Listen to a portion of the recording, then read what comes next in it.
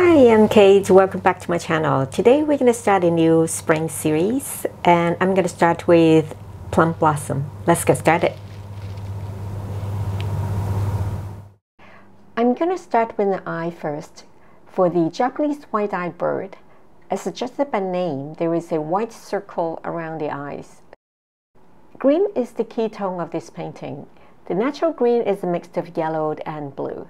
You may adjust the color to the tone you like, from lime green to more blue. You can also add a bit of ink if you want it to be dark green.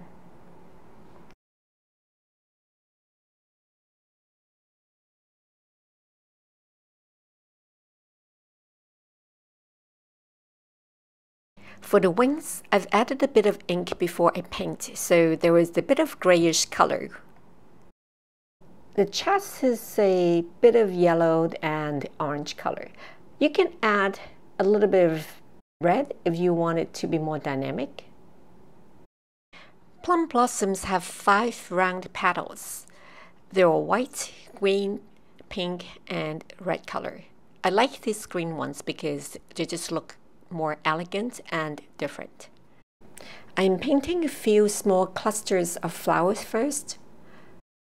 In Chinese watercolor, it is difficult to paint over the first layer of color. So you have to plan and figure out what you want to be shown on the foreground first and then build up the background. I know that I haven't done any draft, but I did it on my head. It is in my mind. I visualize it before I paint on the paper. Of course, there are some failures, and that's part of the learning process. And that's how I create my painting.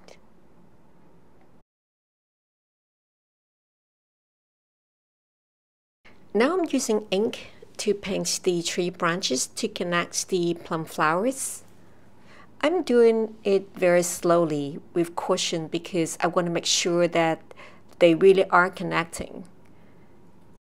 And also where I'm going to continue to extend the flowers. So I'm thinking while I'm painting.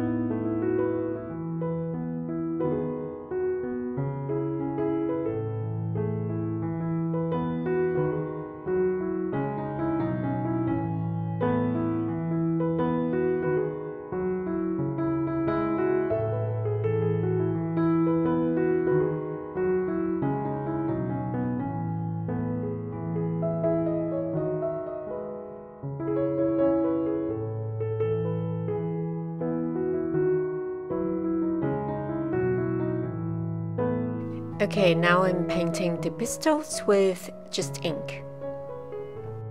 Since I've painted so many flowers, I have to look carefully where the flowers are. It is easy to miss some.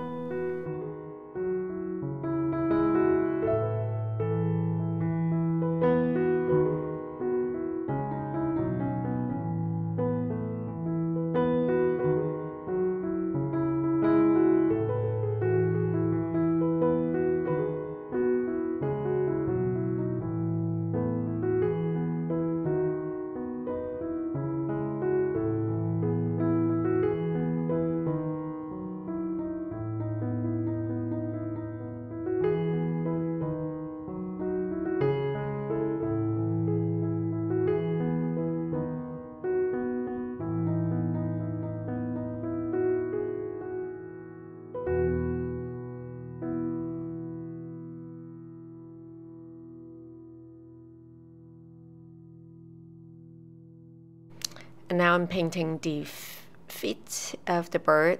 Don't forget that. And I'm gonna add some splasher. If you want to paint something like cherry blossoms or plum blossoms, I think that this is one of the good techniques to add to the painting because then you can imply that there are many more instead of trying to paint all of them. Thanks for watching. I hope you like this video. Please subscribe if you haven't already and turn on the notification button so that you don't miss out any updates. I'll see you in my next video.